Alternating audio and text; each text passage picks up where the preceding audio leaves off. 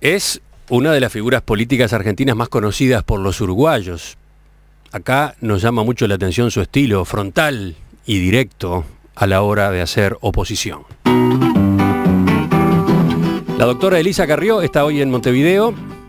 En una visita anterior y cuando se refería a la relación bilateral, pidió perdón al Uruguay en nombre de millones de argentinos y dijo que nuestro país no se merece una compañera tan chabacana.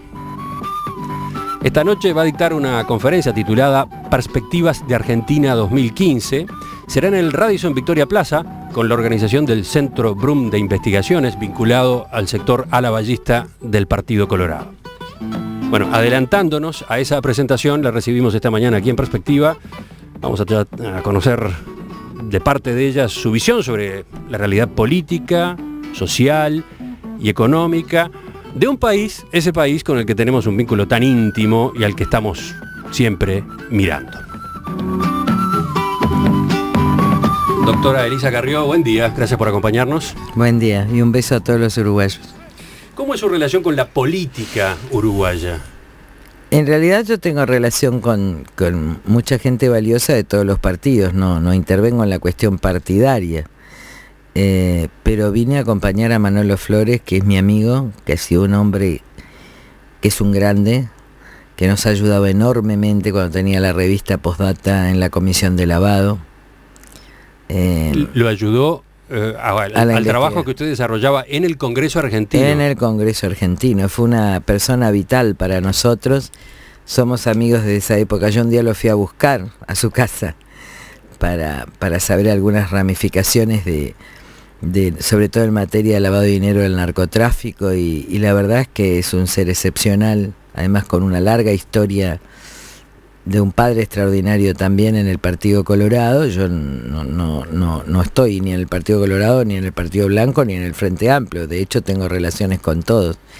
Pero, pero vengo y los invito a que ayuden a este hombre a Manolo porque, porque sé de su, de su entrega por la causa republicana y por la causa republicana y social, ¿no? Es un hombre que ha entregado su vida a la pasión de la verdad y, y además mi deber de lealtad siempre que me necesite, yo voy a estar al lado de él. Empecemos entonces a centrarnos en Argentina. Eh, usted sabe que desde acá estamos muy impresionados con esta ola de linchamientos a presuntos delincuentes que ha venido ocurriendo en Argentina en las últimas semanas. Eh, una primera duda, ¿es algo realmente nuevo o ya venía insinuándose? Lo que pasa es que esta es la consecuencia previsible de un gobierno que, ha instigado la violencia verbal. Piensen ustedes en Delía, que ocupa comisarías, que toma lugares y que está en el palco oficial. Piensen ustedes en los linchamientos que hacen de periodistas, etcétera, madres de Plaza de Mayo. Eh, el resentimiento de los Kirchner, llamaba la venganza, eh, y además eh, la impunidad del crimen, ¿no? porque el problema del Paco en la Argentina está haciendo que las personas no solo roben, sino maten. Usted habla de Paco, se refiere a lo que aquí llamamos pasta base. Pasta base. ¿no? que la reparten punteros del PJ, es decir, del propio partido de gobierno. ¿Cómo es eso? Claro. ¿La pasta base la reparten quiénes? Punteros del PJ en el conurbano yo, atribuyo como max... Punteros son los, los, los mediadores de los políticos en los barrios. Y además el máximo responsable de esto es el que fue ex, jefe de gabinete, es ministro de Seguridad Aníbal Fernández. ¿Por qué usted acusa así a Aníbal Fernández? Porque hay todas las causas de investigación de muertes por narcotráfico y efedrina llevan a Aníbal Fernández. Eh, incluso, entonces, yo tengo una batalla ya personal porque nadie se anima. Entonces, en este sentido, hay un entendimiento. ¿Qué quiero decir? Uno tiene que entender ese chico lumpen, pero también tiene que entender la, la persona que está con pánico, porque vos sentís que cuando te vienen a sacar la billetera están por matar a tu mujer. Entonces hay, hay una emoción que no se puede controlar. Ahora, desde el punto de vista de la justificación, ni el chico tiene que robar ni nadie tiene que linchar, porque la prohibición del no matarás, como decía Albert Camus, funda la humanidad. Y nosotros hemos roto todas esas relaciones sociales, pero a las personas hay que tratar de decirles que no los gane la ira, que el asesino no los ponga, no los haga asesinos, pero la situación es eh, de una orfandad. Hay que meterse en el conurbano a la noche para saber que la gente está mirando permanentemente para atrás, que no puede entrar su auto, que siente los ruidos, la gente está paranoica. Estos casos de linchamientos tuvieron mucha difusión en los medios de comunicación argentinos, bueno, también en el mundo. Ese hecho, la comunicación, el, ocuparse de estas barbaridades, ¿qué efecto tuvo? ¿Frenó a la gente o al revés? ¿Retroalimentó el fenómeno? Yo le diría que no es, eh, los políticos dicen esa ausencia de Estado, ¿no? El problema es la presencia del Estado en el delito. Mm. El problema no es que no hay policías o no hay intendentes. El problema es que los intendentes y los policías en una parte están comprometidos con el delito. Entonces, cuando hay presencia de sectores del Estado y del gobierno con el delito, la gente cree que no hay Estado. No, el Estado en muchas partes está al servicio del delito, por ejemplo, el narcotráfico. Estas son acusaciones muy duras que usted hace permanentemente contra el gobierno de Cristina Fernández. Yo digo la verdad. Y la pruebo y la certifico en la justicia todos los días. Ahora, si tenemos jueces impunes, es su problema.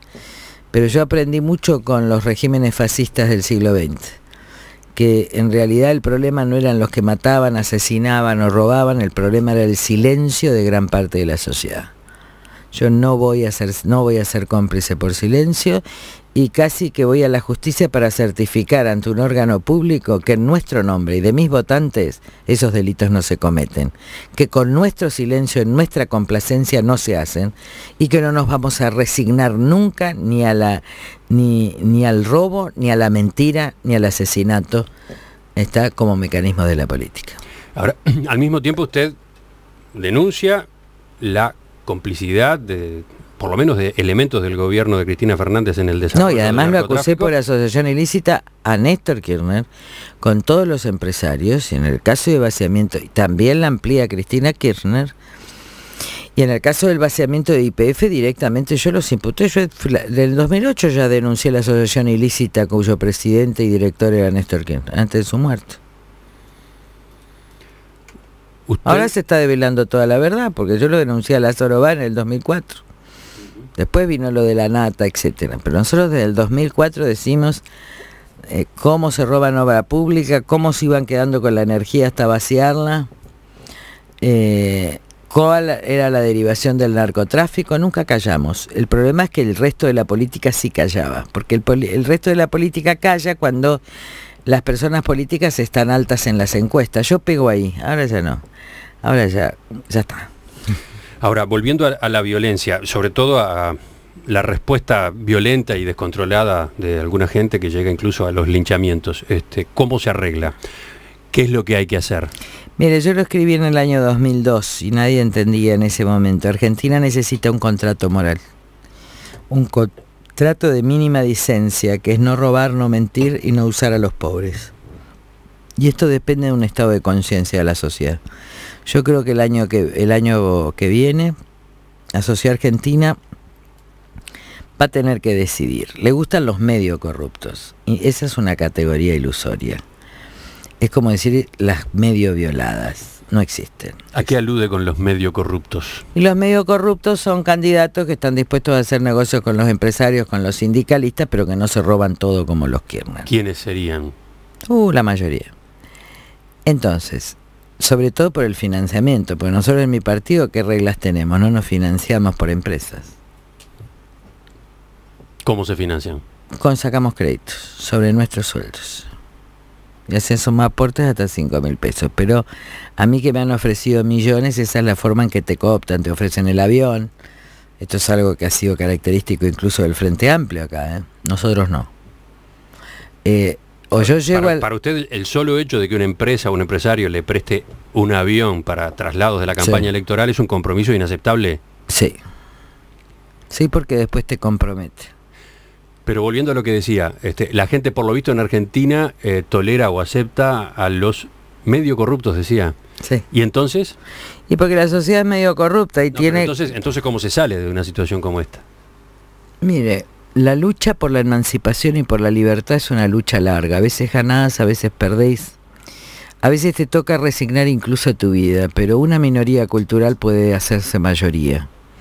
Y ahí es donde se produce el milagro, cuando un 50% se da cuenta eh, que esa es una categoría ilusoria, que se es decente o no se es decente.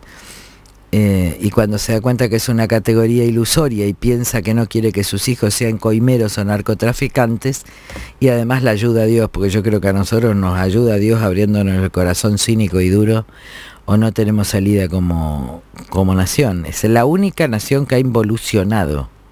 Usted habla de que es necesario un nuevo nacimiento más que un, un renacimiento, ¿no? Porque el nacimiento habla como el olvido del pasado, es, es un renacimiento a partir del aprendizaje y de la historia y de la memoria. Eh, Ana Aren decía que cuando uno puede reflexionar distinto y sentir distinto, puede obrar distinto y ahí cambia la historia. cuando vos en la familia tomás determinados cambios porque reflexionas, cambias la familia. Eh, y esas sociedades, muchas sociedades han cambiado así. Suecia, corrupta y fascista y nazi. La más corrupta de toda Suecia. ¿eh? Eh, tuvo a Palmer y, decidió cambiar con el ejemplo. Solo se cambia con el ejemplo de gobernantes incorruptibles, el ejemplo de maestros que se forman. El ejemplo puede ser bueno o malo. en este caso, en la Argentina, el ejemplo de la violencia de un moreno nos llevó a la violencia de toda la Argentina y de Kirchner. Pero también habla de Moreno, habla del secretario de Comercio este que andaba armado.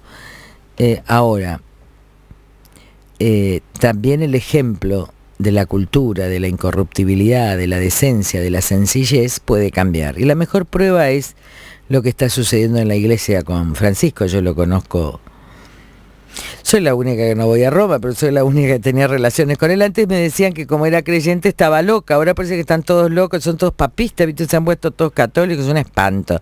Antes usted eh, andaba con una cruz este, notoria. Sí, yo Hoy no la trajo, ¿qué pasó? Y no la necesito porque yo en ese momento tenía miedo.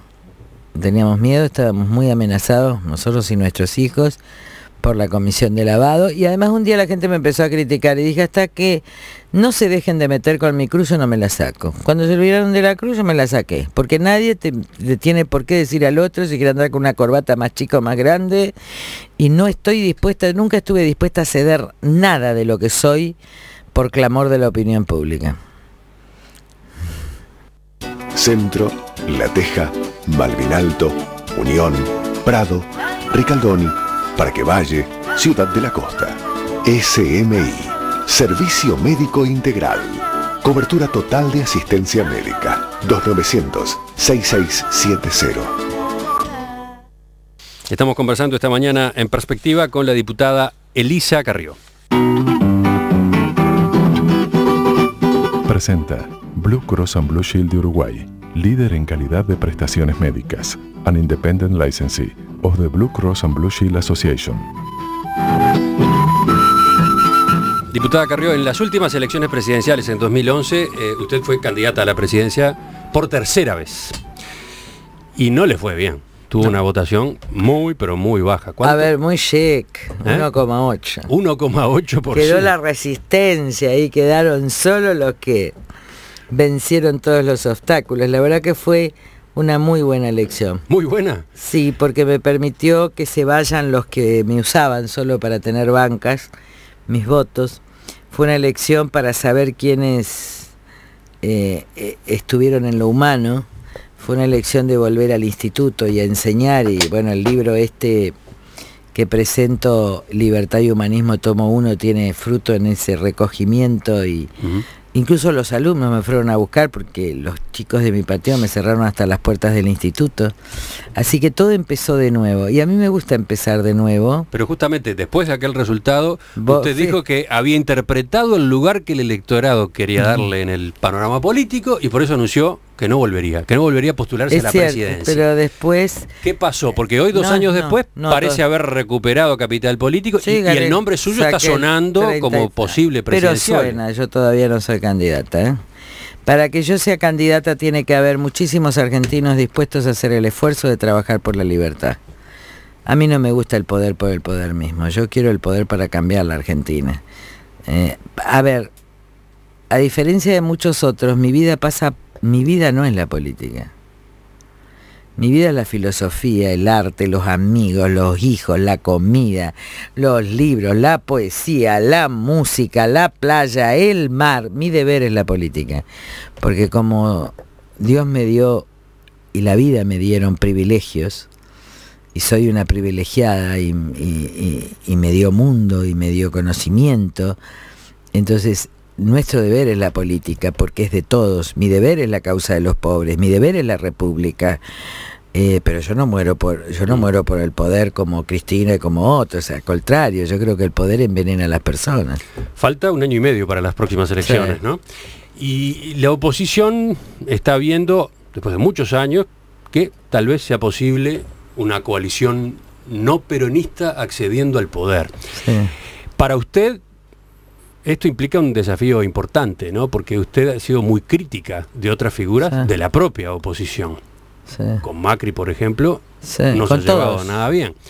No, no es que no me llevo, yo digo la verdad, yo creo que me llevo mal. Entonces usted, por un lado, necesita mostrar amplitud, por otro corre el riesgo de que la tilden de incoherente. No, porque las internas abiertas hacen que la gente se haga cargo de quien elige. ¿Cómo se hace ese armado? ¿Cómo se imagina el, armado? El 22, nosotros ya tuvimos la experiencia de Sunen en Capital, donde estuvimos con gente de izquierda, que yo no comparto, por ejemplo, pero estuvieron Fuimos a una interna muy valiosa, nosotros ganamos con Pino Solanas, de hecho gastamos dos millones de pesos frente a mil millones de Macri y nos fue bárbaro porque tenemos el mismo número de diputados. Así que yo tuve una reivindicación pública muy importante. Eh, después este UNEN ahora se presenta como un armado nacional donde va a estar el radicalismo. Sí, eh, Frente Amplio UNEN se va a llamar. Eh, lo presentamos el 22, ya está todo arreglado, el radicalismo, el socialismo, hay más de nueve fuerzas y mi intención es que también se sume Macri. Ahora, yo no pongo las manos en el fuego, ni por Wiener, ni por ningún candidato radical. Está claro, yo, no, si vamos, solo vamos con una lista. Eh, y creo que el principal árbitro de esto es el pueblo. El pueblo tiene que decidir qué quiere. Pero efectivamente, va a poder sumar, va a poder agrupar a la izquierda de Pino Solanas, la centroderecha de Macri, los viejos votantes de la Unión Cívica Radical. Sí, ya agrupamos. Se lo digo pensando en reacciones como la de Pino Solanas. Tengo acá una frase textual de él. Los presidentes de los partidos que constituyeron la Alianza Progresista unen, acordamos que en este espacio no tienen cabida el PRO ni el Frente Renovador. Eso yo no lo acordé nunca y lo decidirán las asambleas, porque en todo caso él también me llevó a mí a hacer alianzas con el radicalismo, yo no estaba dispuesta, así que si yo pude estar con la izquierda, ¿por qué él no puede estar por la centro derecha? Yo soy una líder de centro, que entiendo que hay momentos de grandeza histórica, ya todo va a ser, todo paso a paso. Pero entonces, ¿de qué se trata? ¿De sumar todo lo que no sea... Y tener un pacto institucional, una imprescriptibilidad de los delitos de corrupción, y un sistema de controles en el seno de la propia alianza y un debate amplio y abierto. Todos los que estamos ahí tenemos diferencias, ¿eh? todos, mm. y hay que debatirlas y que la gente elija quién quiere que lidere el proceso. Pero de eso se trata, de todos contra el kirchnerismo. No, contra la asociación ilícita que es el PJ en sus versiones, siolistas, masistas y su vinculación y la vinculación de todos con el narcotráfico en la Argentina. Bueno, usted acaba de hablar del, PJ. Eh, justamente, ¿qué va a ocurrir con, el justicialismo en las próximas elecciones? Porque, como acaba de mencionar, de hecho se ha repartido ¿no? en dos movimientos, el oficialismo al frente de Daniel Scioli y los escindidos Sergio Massa. Sí, pero Sergio Massa son lo mismo, después se juntan todos en el Parlamento, esto es una gran mentira. Se hacen opositores tres meses de las elecciones, después se juntan todos y los delitos son los mismos. ¿Usted cree que Sergio Massa no es íntimo amigo de Capitanich y trabajaron juntos con Aldo Ducler cuando pedían plata para Palito Ortega al narcotraficante mexicano el Señor de los Cielos? Ellos se hacen que se pelean si están en los mismos negocios. Y la gente, la gente cómo reacciona cuando usted hace este tipo de denuncias tan fuertes. La gente cómo se comporta frente, por ejemplo, al fenómeno Sergio Massa. Sergio Massa le está yendo muy bien. Sí, por supuesto, el becerro de oro siempre le va bien. A ver, repite esa frase. Claro, las invenciones idolátricas siempre se puede hacer a través de la propaganda y cuando hay mucho dinero atrás también. Ahora, si esta sociedad se sigue comprando, se compró a Kirchner, no sabía quién era, se compra Massa, no sabe quién es, su problema no es mío. Esto es así de simple. Yo formo parte de un pueblo y de una minoría que quiere la república, la decencia y la justicia. Pero cada, cada integrante del pueblo es responsable. A mí no me corren las encuestas de opinión, yo no las reviso. No me importa la intención de voto, yo hago política como arte y como deber. ¿Es posible que esté en el horizonte una Argentina sin kirchnerismo en el gobierno? Por supuesto, ya está. No, ya está, no. Se lo pregunto porque... El problema es el neokirchnerismo. Al kirchnerismo se lo ha dado por muerto una cantidad de veces. Sí, pero Massa es un neokirchnerismo perfecto, es el heredero perfecto de Kirchner, es peor que Kirchner. Por eso mismo, ¿y entonces? Y bueno, ¿qué decía el pueblo? Si el pueblo no, no entiende ni por el dolor, no entiende por, por la razón, no entiende por el dolor, es su destino. Es su destino. Yo creo en la responsabilidad de los votantes Sí, yo creo que, a ver, eh, muchos de nosotros, algunos no, perdieron todas sus comodidades. Yo me empobrecí absolutamente al punto tal que este libro es para poder hacerme un techo, porque hasta en el divorcio entregué la casa y todo en el medio de la lucha, así que digo, para mí la experiencia de la política es una experiencia de, empobrecimiento y de y de someter tu prestigio a los perros. Era una gran jurista, escribía libros, veraneaba donde quería, viajaba. Ahora, yo ya hice lo mío usted tiene que hacer, esto de la sociedad tiene que hacer lo suyo. ¿Está? Y no me gusta la demagogia. No me gusta mentirle a una sociedad para obtener el poder. Tiene que ganar la verdad. Por más dura que sea, en eso consiste la sanación. Seguimos en diálogo en perspectiva con Elisa Carrió, diputada por la ciudad de Buenos Aires, por la coalición UNEN. Tiene 57 años, nació en Resistencia, Chaco, es abogada, le dicen Lilita. Ha generado unos cuantos mensajes de los oyentes, diputada Carrió, este, algunos eh, empujándola, eh, apoyándola, otros cuestionándola. Eh, por ejemplo, Teresa quiere saber, pregúntele a cuántas sesiones del Congreso concurrió el año pasado. A todas, ya salió. Falté a una que nunca voy, que es cuando Cristina miente, que es la apertura. Lo que es cierto es que en algunas votaciones donde se votaron 30 leyes, no estuve porque eh, se recibía a mi hijo y para mí la cuestión familiar es muy importante porque yo no estoy mucho con mis hijos, ¿eh? porque le dedico muchas horas al pueblo y además eh, votan pavadas. Así que cuando tengo que estar en los grandes debates he estado. Ahora, sufrirlos a los Kunkel, etcétera, todo el tiempo, yo tengo diabetes, le quiero aclarar, yo me voy a cuidar la salud, yo no me voy a morir por estar sentada en una banca. Ahora, en las grandes debates nacionales y en las grandes votaciones, yo estoy. Ahora, para discutir el día del pastelito con parlamentarios desocupados, le digo, yo prefiero estar acostada.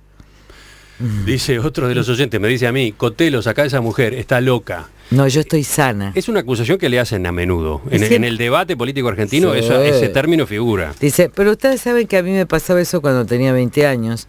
Eh, a los 22 años yo era profesora y a los 24, 25, 27 años fui profesora titular por concurso de Derecho Constitucional.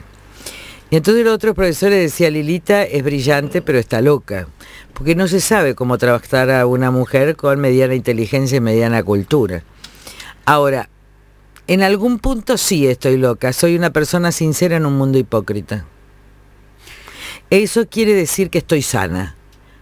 Los hipócritas son los que están enfermos de cinismo y de hipocresía. Así que al señor que me dijo eso le digo hipócrita. Quienes la critican a usted, no desde el gobierno argentino, sino desde la oposición, eh, suelen marcarle cierto exceso a la hora de hacer denuncias por corrupción. Plantean que, como usted incluye en sus denuncias a mucha gente, desde Néstor Kirchner al gobierno español, desde Eduardo Dualde a empresarios, termina generando en la sociedad un efecto opuesto al que usted busca, algo así como una banalización o una devaluación de la denuncia. ¿Cómo se defiende de ese cuestionamiento? Mire, cuando si los españoles, en este caso Brufau, con la ayuda de Felipe González, junto con Kirchner y junto con Menem antes, el mismo Felipe González, entregaron IPF por 200 millones de dólares en las Islas Vírgenes. Si después la privatizaron y la, vaciaron, y si después ahora la estatizan y le pagan lo que quieren, son delincuentes, punto. Y no me interesa defender ni a los españoles delincuentes ni a los argentinos delincuentes. Lo que pasa es que hay una misa en que estas cosas no se hablan. Los pueblos no tienen que saber los negocios entre la política y las empresas. Y yo digo, ahora digo con nombre y apellido. El problema es lo que hablan de corrupción genéricamente y no ponen nombre y apellido, porque entonces no se sabe quién es. Ellos dicen, el problema es la corrupción, pero no señalan al corrupto, eso es ser cobarde. Otro oyente dice, la doctora Carrió no piensa que cuando sale a denunciar nombres de políticos y los relaciona con delitos y a decir que la justicia no actúa, está atentando contra la democracia? No, porque la denuncia penal está. Está toda la documentación con boletines oficiales. Los que atentan contra la democracia son los jueces que no ponen preso a los corruptos y los ciudadanos que son medio corruptos, que hacen sociedades con los corruptos de los políticos, que quieren atacar a los que buscamos la verdad. con nuestra complicidad no va a ser. Si por eso me votan o no me votan es secundario, porque miren, cuando uno tiene la conciencia tranquila, uno duerme bien, vive bien y es feliz. Hablemos de la relación Uruguay-Argentina, que en estos últimos años ha ido agregando problemas y trabas de todo tipo, ¿no? Es, es, difícil hoy hacer un resumen de dónde están los inconvenientes, el resumen es muy largo. Eh, ¿Es solo con nuestro país que la administración de Cristina Fernández aparece tan enfrentada? No, es con todos los países, pero la verdad es que con la administración de, de Uruguay no está enfrentada. Está enfrentada con el pueblo uruguayo. Y esto es lo terrible. Agravia al pueblo uruguayo. Humilla al pueblo uruguayo. Ahora el embajador uruguayo en Buenos Aires come asados todas las semanas con todos los kirchneristas, es íntimo amigo de Zanini. Entonces, eh, cada vez que había un conflicto yo estaba en Montevideo, en Uruguay, y si fuera presidente lo primero que vendría es a pedirle perdón al pueblo uruguayo, no al gobierno uruguayo, porque hace que se pelean pero después comen juntos asados.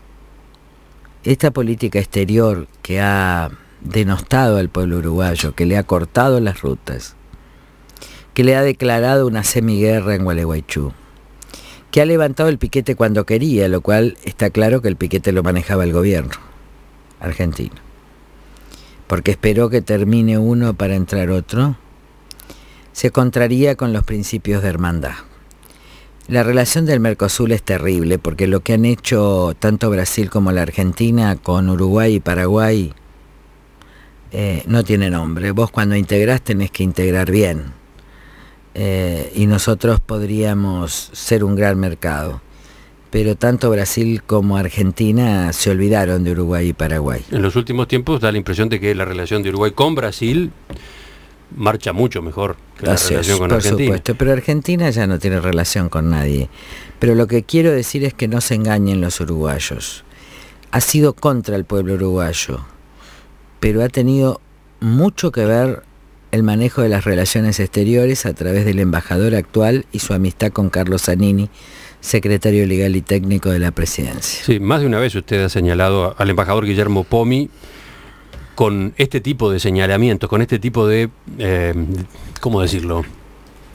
De divulgación de información. Es que no se puede ser tan parcial. Ahora, pregunto, ¿por, qué, ¿por qué usted se concentra tanto en el embajador Pomi. ¿No corresponde a un embajador tratar de tender vínculos para que justamente esos problemas se vayan atenuando o vayan desapareciendo? Sí, pero él solo habla con los kirchneristas.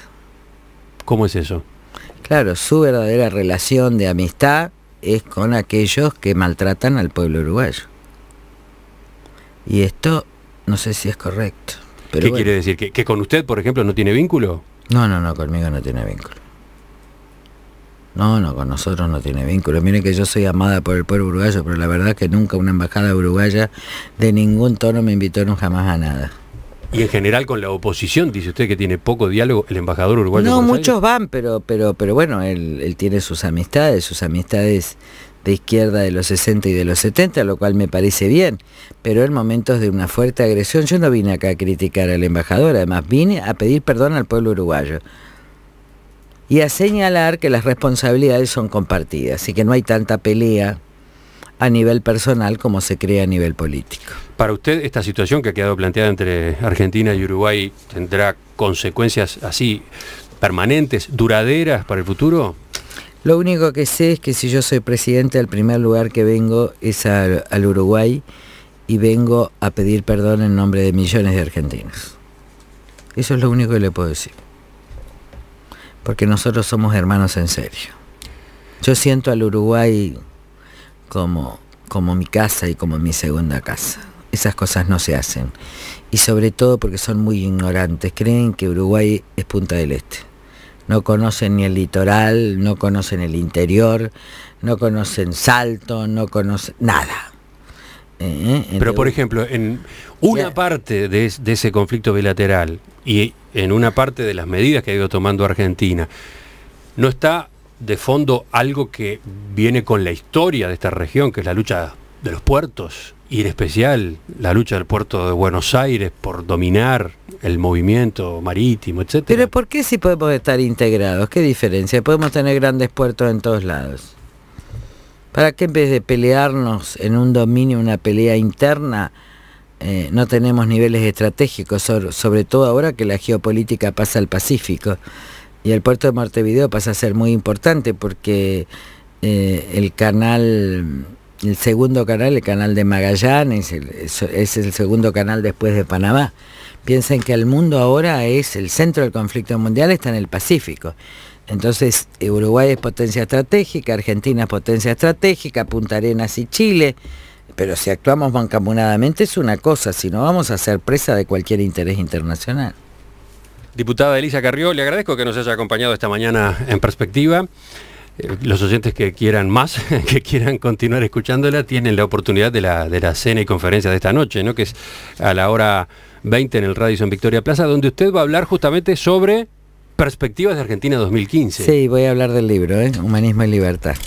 Ahí hablo de prohibición del asesinato, de la salida de los pueblos a la libertad.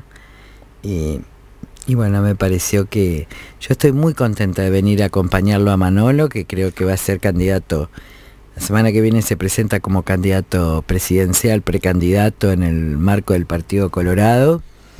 Eh, y creo que esa gente cuyos padres han tenido una gran historia y ellos mismos han tenido ejemplos de valentía, le pueden servir a Uruguay eh, para que se diga más verdad. Volvemos a conversar en cualquier momento. ¿eh? Un beso grande.